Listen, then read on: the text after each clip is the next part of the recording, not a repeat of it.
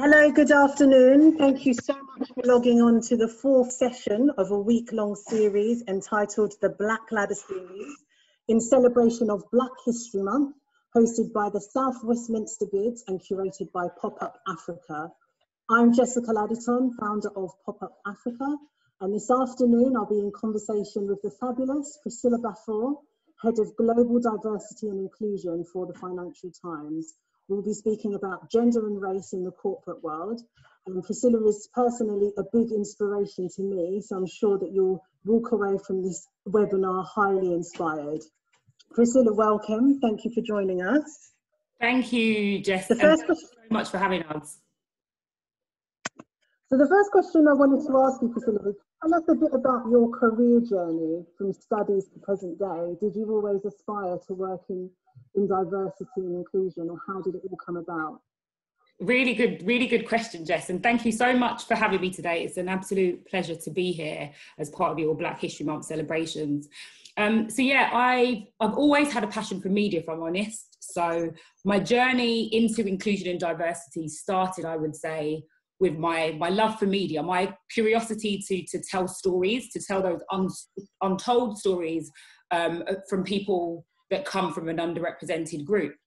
Um, I when I was younger, I used to go to to Ghana quite a bit. Um, in the summer holidays, you know, on a family holiday.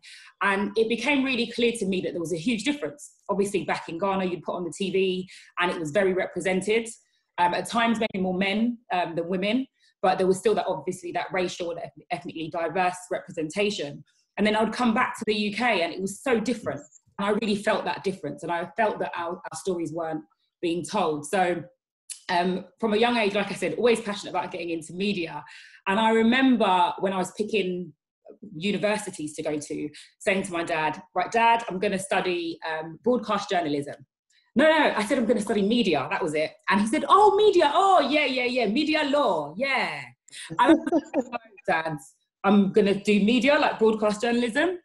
And to, he was very annoyed about that, um, coming from a family of, of, academics that were kind of lawyers and, you know, worked in, in science and the medical side of things. But I think that really came from a fear of, you know, the creative industries not being that stable. And I think a fear that you know, there was that lack of representation in our industry. So to my dad's annoyance, you know, I went off to university, I studied a, a degree in broadcast journalism and, you know, worked really hard, you know, because my, I remember my mum saying to me, because I think my dad probably stopped talking to me for a while actually, for a few months. And I remember my mum saying to me, you know, if you're going to do this, I will fully support you, but you can't be mediocre. You're going to have to work really hard and you're going to have to go above and beyond and so that kind of work ethic was instilled in me from from university so like i said i was in the student radio um, working for the for the university newspaper i did lots of work experience even at 16 i was in work experience in the bbc um, and then i think when i came out of university it's then when i started to see those barriers so um, you know everybody was applying for jobs and I, I remember just applying for job after job and like just no doors were being opened. And there were three barriers that I kind of identified coming out of university. Um, and you know, a lot of people that have done some research into social mobility and in the creative industries have identified with some of these. So one of them is the financial barrier. So I came out, and at that time, it was, you know, you had to volunteer, you know, unpaid work experience, that prevalence of unpaid work experience, and I'll be honest with you, Jess, with a dad that was like, didn't want me to get into this industry. He wasn't about to look after me. I couldn't live off the bank of mom and dad. that was a huge barrier. And then I, the network. So I didn't know anybody that worked in this industry. And I'd started, you know, my work experience early, um, going to mm. university um, and building up those connections, those work experience connections, but they weren't all there. And the third barrier, that information piece, because when I was in university, it wasn't clear about what you needed to do to go into a specific role. Um, and yeah. so when, again, I guess my, my passion for inclusion and diversity developed. So I went on to work for Media Trust. Um, I did some roles actually in events and PR for a while, so some comms roles. Um, and then I went on to, um, to lead, project manage some youth mentoring initiatives at the Media Trust, uh, where we were using media really as a tool for engagement and working on mentoring programs. Um, and then I started to see that there were a number of these youth organizations that were doing fantastic work. But what a lot of these young people wanted from disadvantaged backgrounds was to get a job, you know, to get in and get on. And so after having to, um, after having my first child, actually, my, my daughter, I went on to work at Channel 4, where I spearheaded 4Talent. And over at 4Talent, I won the Deputy Prime Minister's Award uh, for playing a pioneering role in tackling social mobility. Um, and I was also Amazing. Channel 4. Yeah, just you know, you know, I think again when I was doing that stuff at, at um, Channel 4, diversity and inclusion wasn't even really a thing. It was more like CSR. And so I'd say that right. probably ahead of the game at that time. That was the only organization mm. that was really supporting young people from various walks of life to come into the industry. And so mm. I part of the team that set up the 360 diversity charter. Um, and and you know that that was a, that was amazing. But what I started to see was that we'd seen a lot of growth at entry level. So there were a lot of work experience placements, apprenticeships, you know, grad schemes. We were working on the production training scheme, but that talent was starting to hit a glass ceiling. And right. you know, and so again, my passion grew even more, and I really wanted to tackle diversity at that mid mid level. So after five years, I left Channel Four, um, and I was like, right, I'm going to set up my own business. I'm going to take a risk. I'm going to set up my own diversity inclusion consultancy um, and again, bringing in the parents, my mum was like, oh, what about your pension? What's wrong with you? you've got a good job. you've got a good job, you've got security. You know, why? Why do you want to mess this up? But it was something I needed to do. I knew that, you know, it would mean that I could work with various global companies, but it was an opportunity for me to, to grow and develop. And as I said, build that global expertise. So you know, there I was kind of delivering training. We did some great projects in Africa, facilitating sessions, you know, just securing talent really for the broadcasters and production companies, and then also mentoring and coaching a lot of talent. And then I, um, ITN reached out to me actually. That's how I went to ITN. Um, and I initially joined there as, as a consultant um, and ended up staying for 18 months there. So my role at ITN was really working with the CEO and the executive team to set transparent workforce uh, diversity targets. And I pioneered their work around the gender and ethnicity pay gap. So I think that's kind of me in a nutshell, a whistle stop tour. Um, and then after being at the ITN, I am now at um, Financial Times, where, as you said, I, I uh, lead a global team. Um, and my role is really to embed um, inclusion and diversity into the organisation. Amazing. Thank you so much, Priscilla. I can see that you've been very busy building your career. and quite rightly so, through hard work, you've got to where you are now. So that's fantastic. Thank you so much for sharing that because I'm sure a lot of people listening um, that are at the beginning of their career will definitely be inspired into different ways and different avenues that they can go into. Even leaving a secure, a secure job to start your own business, um, develop new skills, I think that's very um, inspirational in itself. So what I wanted to ask you is, you've jumped from a company like Channel 4 to the Financial Times. Um, what was, did you notice a difference in the environment and the, the work culture? What's it, what was the jump like going from entertainment media to financial media? That's a really good question, and I often get asked that question um, quite a lot, Jess. So I think the culture is actually quite similar, um, to be honest, and that's probably the reason why the transition was a bit easier for me um, if you look at some of the, the broadcasters and the media companies that I've worked for, so like ITV, Channel 4, you know, ITN, and various companies through Media Trust, you can see that the structures there can be quite flat um, and there's not actually much churn at the top. So you start to see that people stay in jobs for a very long time and they just don't leave. So it becomes very difficult then to, to bring in any change. Um, and it's also difficult then for talent from underrepresented groups to progress. So that side of things was definitely very similar in terms of that systemic culture. I would say yeah. he's probably more flexible um, than some of the companies I've worked for. There's less presenteeism. And when I joined, I guess one of the, the plugs for me was the fact that, you know, I did have that option to work wherever I wanted to. And I guess that's probably why it was really easy for us to get everybody um, working remotely from home because we've been doing it for quite a while already. But would it be useful for me to just share a bit of context yeah. as well? Because um, yeah, yeah, that would be really good. Yeah, because a lot of people don't know much about the FT. They often think of the, the pink paper, but um, yes. we provide a broad range of information, so news and services for the global business community. And our readers actually access content through a number of various different platforms. I think at the FT, we're very fortunate that we have that powerful external voice. You know, we're recognized for our journalistic integrity, that curiosity and trust, but we're old. We're like 130 years old. Um, and so with that history and that legacy comes both, you know, challenges and opportunities. And because, you know, when people think about the FT, there's a perception that we're all white, Oxbridge educated, yes. middle class men walking around in pin, pinstripe suits and bowler. Yeah. Um, That's definitely the view I had. Yeah, a lot of people do. A lot of people do. They do. Uh, but it's, do you know what? It's not the reality today. And we've, we've worked really hard and we continue to work really hard to shift that perception of the FT. That's a big part of my role. Yeah. And really do that by diversifying the workforce um, and our readership. So that's good. And but the market has changed so much. And so we when we talk mm.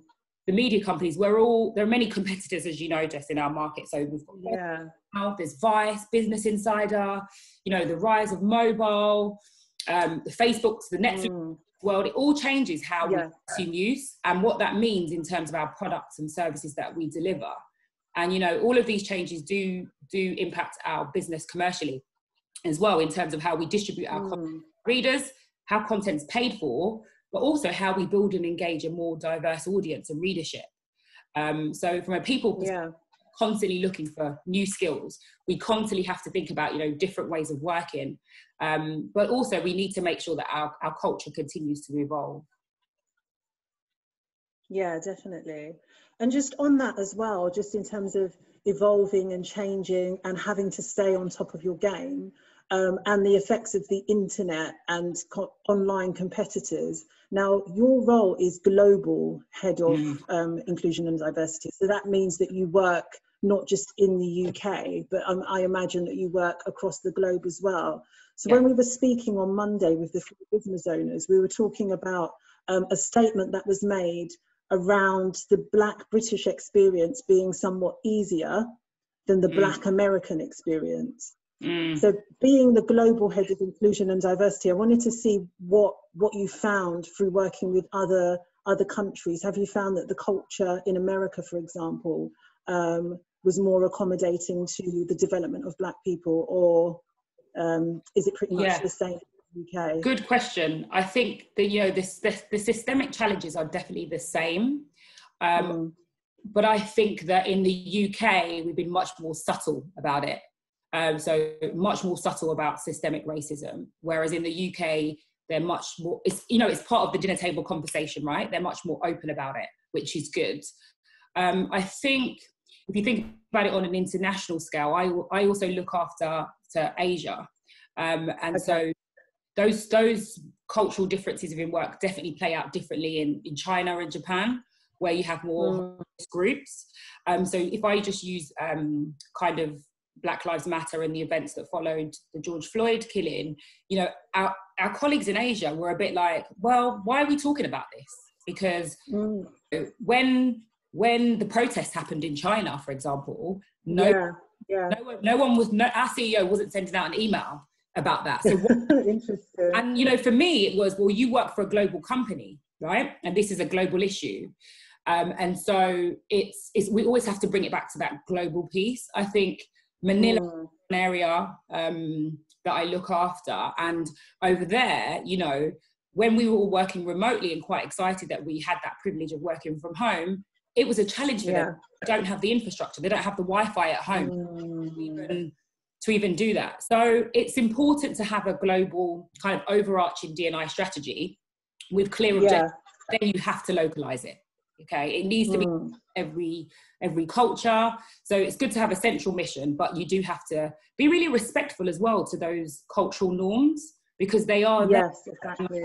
Even though we may not like some of them and they don't make sense to mm. are there, and so you do have to respect them. So at times it can be challenging. So you know, there yeah. are parts of the world, even in Europe, where we can't collect certain diversity data um, because right. there's legal restrictions, and so that that can be a barrier sometimes. Okay, thank you. And that's really interesting how the culture differs from country to country, especially what you were saying about China. Yeah. Um, the CEO not addressing society issues that are happening that are topical. Um, yeah. So yeah, it goes to show that you know you have to be respectful of the different cultures and the way things are being done across the globe. Yeah. Um, so on on culture, on culture, coming back to the UK now, it said that within the UK there's this culture of going out after work um, and socializing, and a lot of opportunities happening whilst socializing. Like you learn about uh, new roles that might be coming up. You might mm. connect with one of your colleagues, which kind of opens doors for you. How have you, do you, do you think that's true? To what extent do you think that statement is true? Yes, I do think it's true actually, Jess. And you know, you've you've worked in the media for a while, you've worked in this industry, and, and it is a lot of kind of early mornings and late nights. And in a global role like my own, that means a lot of travel.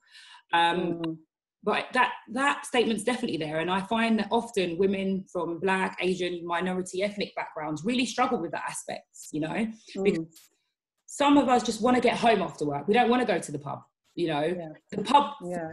some people that i've been in, in contact with through my role you know their first introduction to the pub was in their first you know working role and so the creative industries is very much based on you know who you know um, yeah. and those connections and as difficult it, as this is for me to say, in order for mm. to get on in this industry, networking is is just is key, and that's why I'm a big believer of sponsorship programs. You know, because yeah. it is that that senior person at times that white middle class man that is saying you need to hire this person, you need to promote this person, yeah. amazing, or it is that kind of that person from a dominant group that's saying actually you come along with me to that networking event um, and and mm you get to hear about you know all those things that's going on those promotions all the strategic stuff. So you know it's an issue for us i think for us as black women because it, we we want the credit for hard work. We remember we're told from a young age mm. i was told yeah. you have to go above and beyond right? You have to work hard. So then when you get into a job and you've got your head down you know you're working hard no manager's coming along to tap you on the shoulder to offer you a yeah. We struggle you know the data tells us that we struggle to even ask for pay rises you know and mm. that's the cultural influence you know because it's you know i'll wait until i'm asked. Will i look disrespect will i look like i'm i'm not i'm only interested in the money? Um, and i think it's okay to demand what's rightfully ours you know? And so i think mm. issue um, but we do have a lot of work to do. I think we have to be aware of our blind spots. And at times, I know it feels uncomfortable networking, it feels a bit awkward, but they are the yeah. things for the next level. And how's it been as a working mum as well? Because obviously, going out to socials, you might not have as much flexibility as some of your colleagues would. Have you uh, have you come across any? yeah, it's tough, and I'll be really honest with you. I think this year things have changed. We're against mm. the backdrop of a pandemic, and you know, yeah us are able to work from home more. You know, tech has been quite a leveler. And I mm. I'm guilt because I'm here all the time, right? But and I, I think I have more of a work-life blend. It's definitely not balanced at all. It's yeah. a blend of yeah, do you know what I mean? Like do the school run, you come back and then you're at home, so you, then you put a wash on, and then yeah. thinking, right, I'm going to do some work, and then I'm going to put dinner on. And so I definitely find that even though there is more of a blend, it's I have less time for myself. Um, but mm. I feel hmm. present much more because, you know, whereas tonight, for example, if I've got to take my son to football, I can do that yeah. and log on and be at and still be at Fantastic. this. In a way, this, yeah, yeah, yeah. Oh, that's brilliant. That's good. And have you come across any like, I don't know, some judgment from colleagues when you've had to like nip off and do things of your colleagues been quite understanding. How how does the Financial Times support working mums in particular? Yeah, very supportive at the at, um, at the Financial Times around flexible working, and I think for the first time in my career in this role, I was able to leave loudly. Mm. I don't know if you've ever experienced this. Okay. At other companies where I've worked, if I know that okay, right on a Wednesday, for example, I need to leave early to pick up the kids and do the school run, I would like hover around like quietly try and put the things in my bag. I wouldn't want to get noticed. Yeah, yeah. um, and then, but now, like at EFT, I, it's different. It's like, oh, right, I'm leaving. Yes, I was here at eight o'clock. I'm probably going to log on, but I could leave loudly. I think it's definitely different. Um, and I think we also um, did our flexible working policy so that it was for everyone. Okay. Because yeah. Was often dads that were thinking, I want to leave, but there's that notion that it's always the woman that has to leave. Um, yeah, yeah, flexible for everyone, not just working mums. Yeah, that's so yeah. true. Okay, thank you. Um, so a recent article stated that more than a third of board members across the FTSE 100, out of them, 350 are women. So meaning that corporations had met their gender diversity targets. Um, but looking more closely at these and who the women actually were, there was an alarming lack of um, alarming lack of black and ethnically diverse women being represented. So I know that you've got you probably have a lot to say on this. Um, What are your views? what are your views on this? And do you think it's fair to lump all women together when policies are being put in place? Or is it important for diversity data to be broken down? Yeah, very, very good question, Jess, and something that you know I've been focused on quite a, a bit in in my role at the FT, and, mm. I think many organisations have, have, focused on gender because because of the gender pay gap, but also um, it's easier actually to to work across mm. gender. Most people, you know, know a woman, a mom, an auntie, a sister, so it's it's much more easier to relate to than other um, diversity dimensions but you know we've not made enough progress on race and ethnicity um, and it's easy sometimes for organizations just to focus on one thing and do one strand at a time but it's really mm. that we look at the data data is essential to this conversation but it's important that we look at that data with an intersectional lens um, and from many mm. reports that we've read and actually from from my experience working with a number of organizations i often ask where are black women in this conversation and who's focused yeah this. And I would say, really, for some organisations, they've only really started to focus um, on this in the last year or so. Um, but mm. we we lumped into one group, and you know, when I've looked at gender identity of the in the past, I think it's clear that you know, black women they're not represented. You know, I've often mm. felt that when you know I've attended events, I've been the only person there. Um, I've been the only person in the boardroom, um, and that's yeah especially for you know younger talent that's coming up in the industry it's really key that we have role models there as well um, to look mm. to aspire, aspire to and I, just to bring in my you know experiences of, the ft when i joined it was great to see that there was lots of work that had been done to progress you know women into senior roles and it was making a huge difference you know more women were yeah. taking senior leadership positions across the organization you know, our senior management group had reached 48%. You know, we'd set a goal to hit gender parity by 2022. So we were tracking really well, seeing women at leadership. Yeah. But when I came in, started to look at the data, that wasn't intersectional and it didn't speak to the to the black female experience. But mm. what I felt at the FT was that there was a strong appetite from the business to broaden our diversity goals and prioritize race and ethnicity. But before we could do that, we needed to get more data. And many organizations don't even have the data. Um, but, you know, at the FT, we made it a goal. Um, we knew that the data would help us to define, you know, further milestones. For example, we knew we wanted to be transparent and publish our ethnicity pay gap, but we couldn't do that. Mm. We didn't have enough data. So that's been a huge focus for us. And when I joined the organization, only 50, less than 56% of the company had disclosed their ethnicity data. Uh, mm. That's now 84%. Um, so it just means that we have a better idea of where we need to focus our efforts. Um, and that's, I mean, we all know the data is important, right? But the real yeah. case is human. And I think it's really um, important that we understand the lived experience. So we are seeing that a lot more this year, I think. Um, there are a lot more spaces where people feel like they can come and talk about what it's like for them as Black women. But, you know, mm. work and feel like I belong. You know, can I bring my own food? Without fear of someone like turning up their nose um, the microwave? Can I change my hair when I want to? Mm. You know, being judged. You know, can I be assertive even? Oh, you know, I I work with senior leadership and the CEO, but at times I think, can I be assertive and hold someone to account without yeah. being labeled angry black woman? Mm. So I love data because the data doesn't lie. and what gets measured will always, always get done. Um, so it's important yeah. that, but it's important that we track that data across the whole employee life cycle, you know, to, to really mm. where the issues are. Yeah, 100% agree on that one. Um, and you touched on something really briefly that's that's really key. You spoke about representation um, and the fact that representation is really important. And for you, you've been in the boardroom where you've been the only black woman. Um, so, from your perspective, why? I mean, I know why, but from your own mouth, why is representation so important, and what and what does it do um, for an organisation? Yeah, Jess, it's so it's so important. I mean, we know you know this, and we know from many reports that embracing diversity is not only the right thing to do, but it's just good business.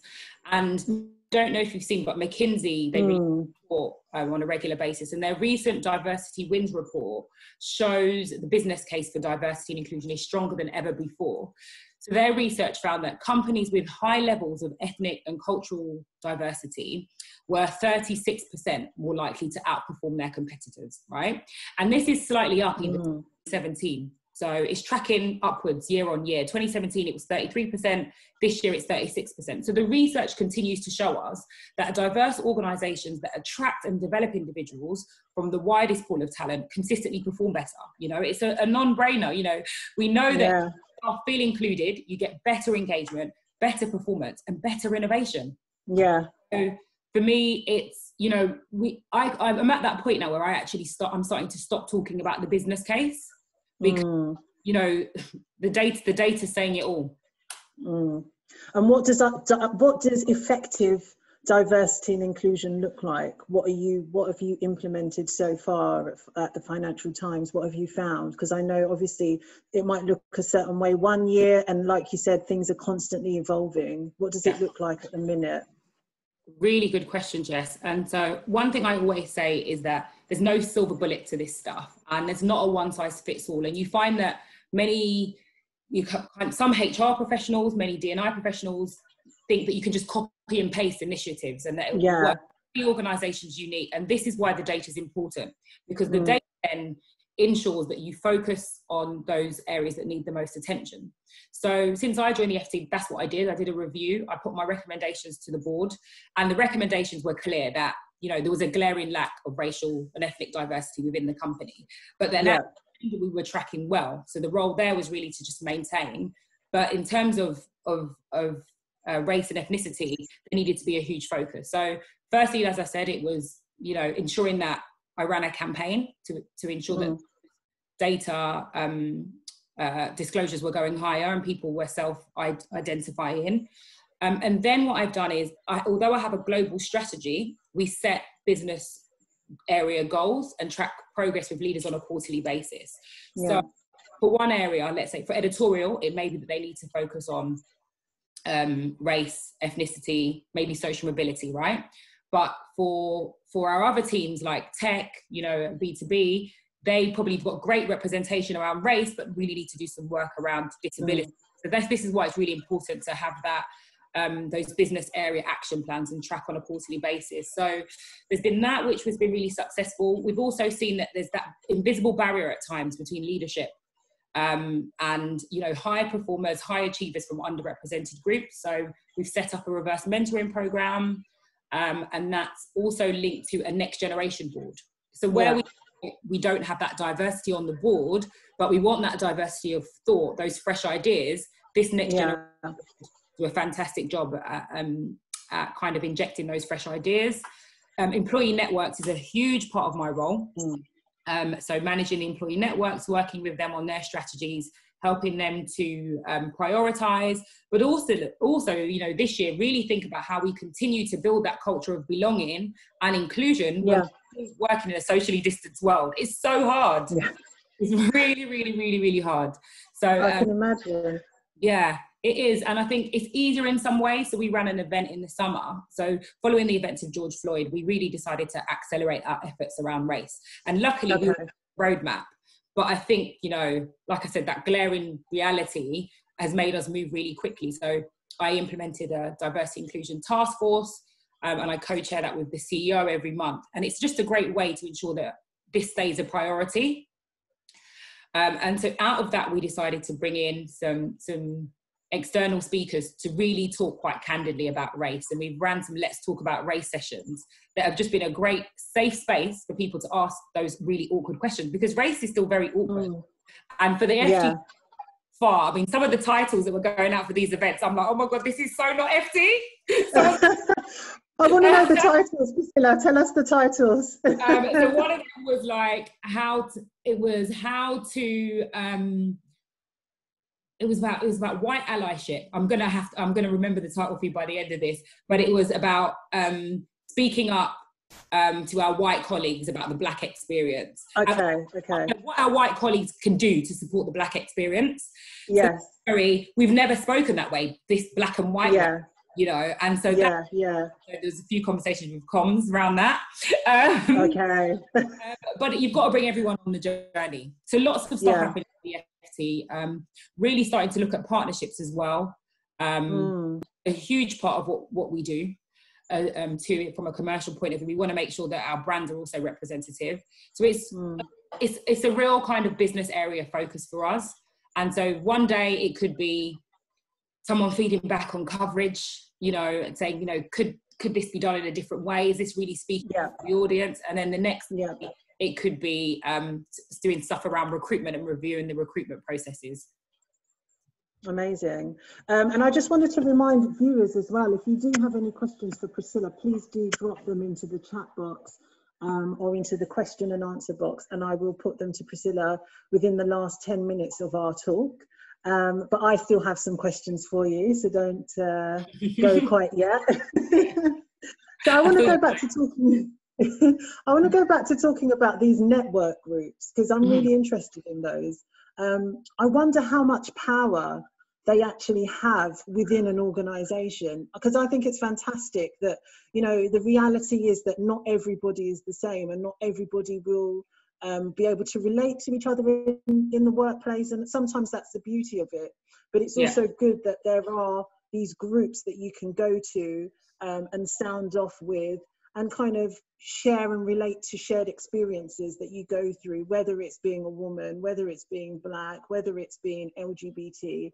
Um, but how much influence do these network groups actually have? Have you had any experiences where they've put forward a suggestion and you've actually taken them on board? Yes, most definitely. I mean, this year at the FT, you know, more so than ever before, our employee networks have been instrumental um, in, you know, helping me to drive this strategy.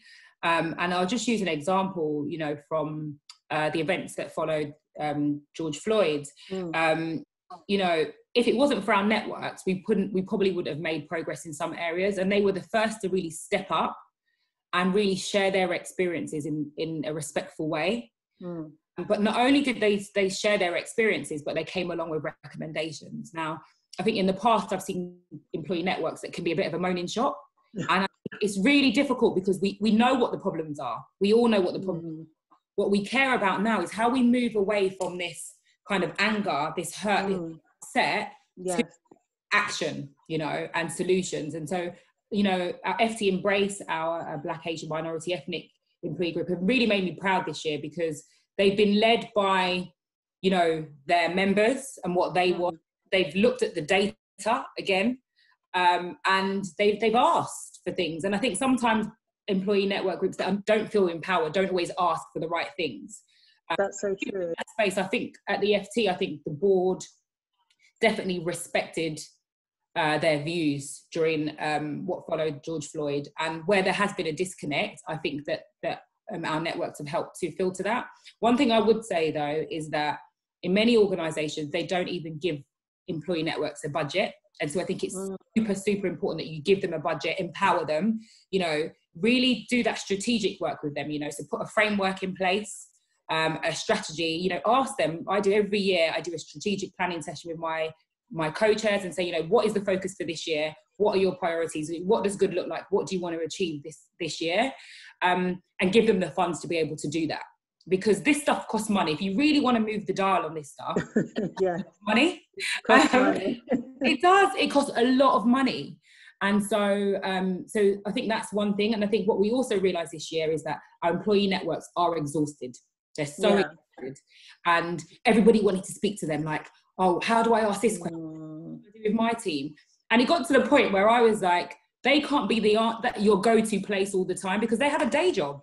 You 100%, know, 100%, yeah. My specialist. So what we've done is ring fence some um, time off for them, so they have about six days off a month, about 10% of their role where they can take the time out just to focus on employee network activity. And then we're going to ensure that the work that they do is reflected in their, you know, performance development plans because it's leading, they're leading, they're leading a group. Yeah.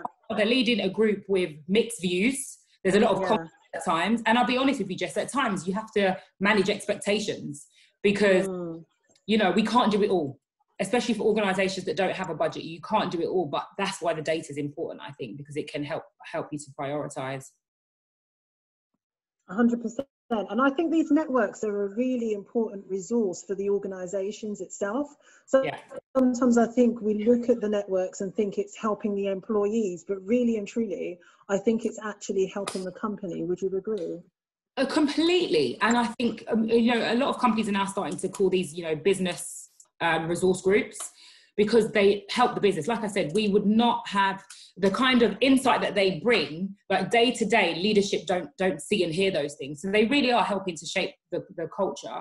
And I think even for things like events as well, where they lead on that area of work, you know, it's helping create that culture of inclusion, right? For more people to join the organization. So I think definitely um, they have such a huge role to play. I think that they need to be empowered where they're not and also be yeah be credited for what they've done. And you know it, this should be you should look at the role of an erg leader you know a network leader as, as part of their career development plans is so important because yeah. day-to-day role they may not be looking at budgets. They may not be leading anyone but they're doing that every day in an employee network capacity. Yeah. Yeah. looked at when we're thinking about promoting people in the organization as well.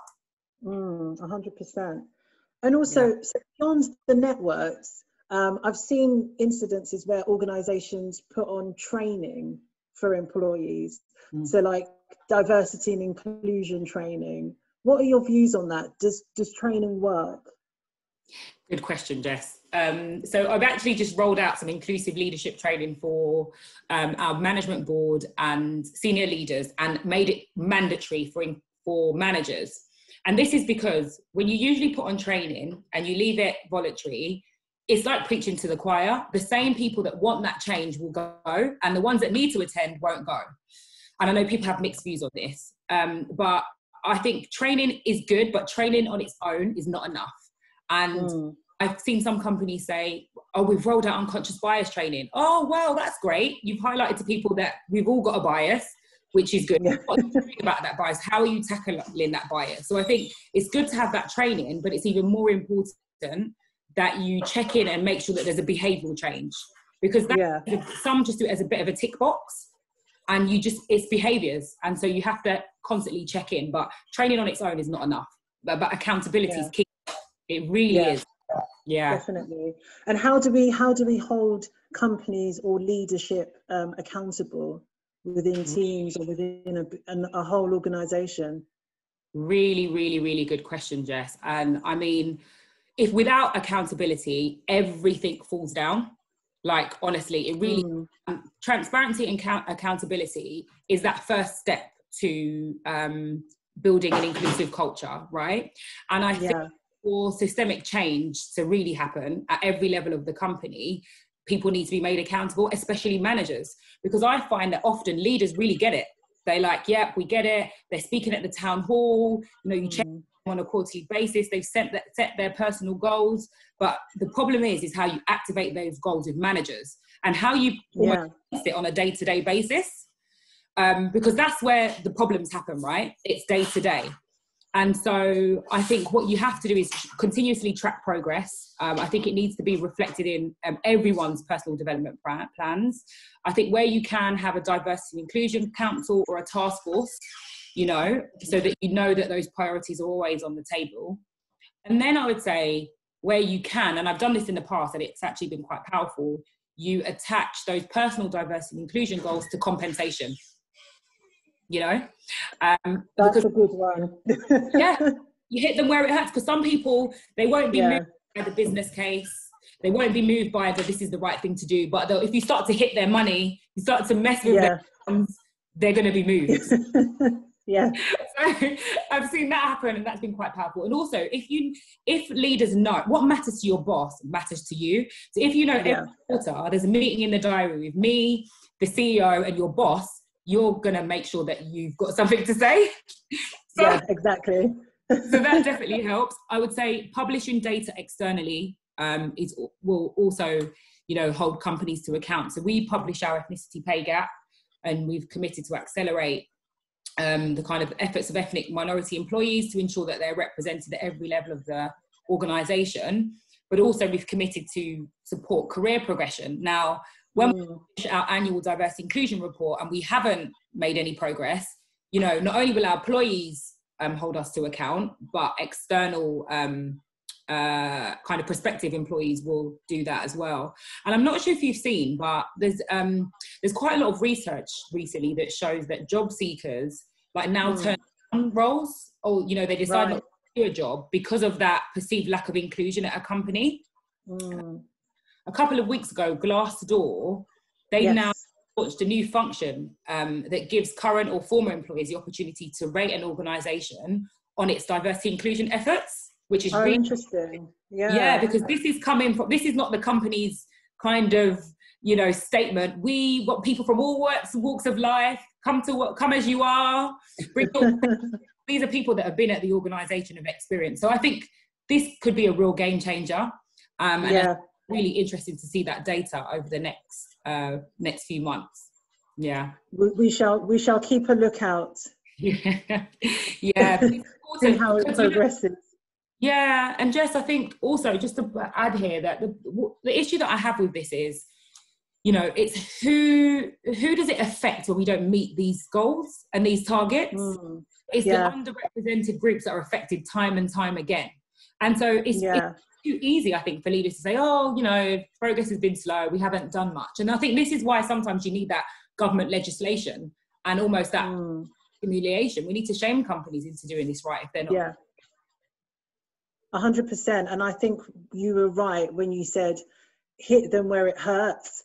And you know financially if it affects them i can i can bet you i can guarantee you a lot of companies will pull their socks up on this. Yeah completely. Yeah. Yeah they will. So i wanted to i wanted to talk a bit more about your journey into where you are now because you're obviously very successful in your in your field. Um, but it's an issue if you're going into the boardroom and you're the only one um, mm. So it'd be interesting to know, number one, how you know how you got to where you are without seeing people like you around you. Did you have a mentor? Did you have, uh, you know, you might have had more than one mentor for different things. Yeah. Um, did you have people that you looked up to? Tell yeah. us a bit more about that. Good question, Jess. It's funny actually. I was thinking about this the other day because I was on a I was at a government um, event with one of my mentors, which was really interesting. We were both on this panel together, and I was like, wow, like it was quite emotional because I felt that you know mm. and had really inspired me when I was kicking off in the industry, and that now I was round the table, you know, with them. Yeah. Um, and that's so that's amazing. Yeah, that was it. Was a real moment, and so it got me thinking about you know what the journey's been like. And I'll be really honest, it's it is challenging. It hasn't been easy. It's been a lot of hard work, a lot of early mornings, a lot of late nights, and especially when kind of kids came into the mix, I think I really had to mm. to flex and adapt a lot more, and that I think was was quite hard. Um, mentoring for me, I wouldn't be where I am today without great men- mentors and sponsors. It's the sponsorship aspect of mentoring that is just so powerful. And tell us a bit more about the sponsorship um, aspect for people that don't really know much about it. Yeah, um, sure. So I think sponsorship is really that it's that person that speaks up about you in the room there. It's mm. that person that introduces you to their network and says, you know, go and meet with Jackie about that, you know, oh, or my friend James is really good at that. You should speak to him about that. It's that person that brings you into their network and their day to day. And I think mm. that's where you see the real that's where you have real impact because it's not just someone telling you what you should go and do which is mentoring, which is great, but it's someone almost holding your hand to do it and and speaking you up, bigging you up when you're not there. And we all do this. It's this halo and horn effect that a lot of people have. Like if I say to you, if I go to a meeting, I'm like, you need to meet Jess. She's absolutely amazing. Like, she, yeah, like I've worked with her for years. You would love her. You come to that meeting like this. Jess is going to be amazing because who you you regard as quite high up or influential mm has you know you big that person up so you have respect you value what they say so that's why sponsorship is powerful but i'll be honest with you black women don't do it enough and you know one of the things i've always said uh, or i've always done and i always give this advice to younger talent coming up is ask for help like you know ask, yeah like, the worst thing someone's going to say is no you know and if you yeah. mentor you or coach you and they say no well you don't want them mentoring you anyway so you just move on yeah, exactly we don't tend to ask and i think you need various different mentors i have mentors you know that are in my my personal life that i'll go to for things around mm. family and running the home you know yeah. there's there's my work professional mentors as well and so i think we yeah. all um yeah and they keep us grounded as well i think and they keep you in check as well. If you if you speak out an ambition, you've already said it, so you've got to do it. Especially yeah. if you've said it to your mentor, they'll be like, "Right, Cilla, you said you yeah. wanted to be the CEO of Financial Times. Where are you with this now? what are you doing?" I do this to people all the time and they get really hot and frustrated. They're like, "Oh, you had time." I was like, "You haven't had time. Yeah. I have kids to get ready in the morning. You're telling me you don't have time, and it's just yeah, you." Yeah. It's accountability, isn't it? Yeah, it is. And I think that it's we have to invest in ourselves because I think sometimes yeah we don't recognize that we also as an underrepresented group have certain blind spots and yeah. uh, you know why I I don't always allow people to use the race card yeah mm. sometimes I'll say actually well that's probably not a racing because I've seen you've not really been quite confident in this area you know have you asked for that promotion have you asked for more money yeah you know a lot of the time we're waiting for managers to come and tap us on the shoulders and say, "Oh, now's time," and that's now it's never going to happen. There will be someone out that's more hungrier than you that will yeah. go and ask. For it. it tends to be the white middle class man. Yeah, that's it. Why do you think that is? I think it's Why cultural. Do yeah. really do because I struggled with this in the beginning. So I struggled with managing people that were older than me when I was younger because right. of that thing. So I came from an African household, respect mm. your elders, and so for me to try and give someone older than me orders, even now, yeah. one of the ladies in my team, she's in her, her mid 50s. And sometimes when I'm asking her to do things, I feel, mm. I feel quite, and I shouldn't, but yeah. it's me. It's ingrained in me from when I was younger. Like that, I'm, how can I be sending her? She's going to get me a coffee. Like, yeah. me. Do you know what I mean? And so I think that's a cultural thing, and I think that that can be difficult sometimes, bringing those mm.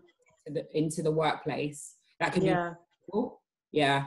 And do you think and do you think imposter syndrome plays a bit of a of a, a bit yeah. of a role in this as well in people's lack of confidence? They feel like I shouldn't be here. Yeah. Um, look around, you're the only one. What am I doing here? Do I know what I'm talking about? How has imposter yeah. syndrome affected you, if it, if it has at all? Yeah, all it creeps up all the time. And I remember mm-hmm.